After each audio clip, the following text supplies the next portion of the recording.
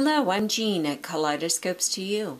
And right now you're seeing the interior images through Sapphire, a brilliant, intense cobalt blue gemstone collection kaleidoscope created by Sue Rioux. This has a right angle to the mirror system, so it's creating this incredible four-point star of the faceted colors of the cobalt and sapphires.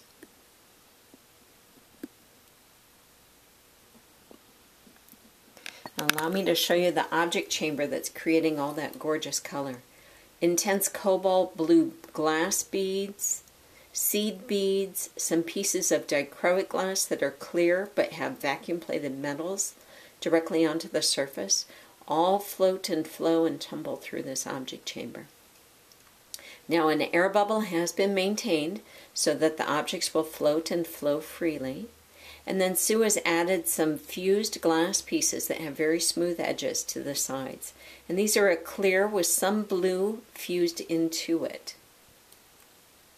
The exterior of the kaleidoscope is a sapphire blue iridized, uh, not iridized, this is a dichroic glass to the exterior.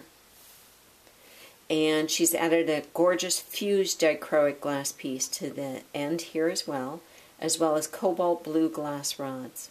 She has a wonderful technique to her solder work with the dots, and she has built up the feet in solder work as well and added cork to the pads. Sue Rioux 2018 Sapphire.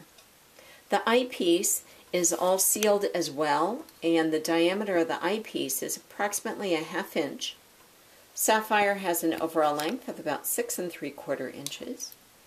The object chamber is two and a half inches in width and has a diameter just over an inch. This is Sapphire in the Gemstone collection of kaleidoscopes created by Sue Rioux, and this is currently available at kaleidoscopes2u.com.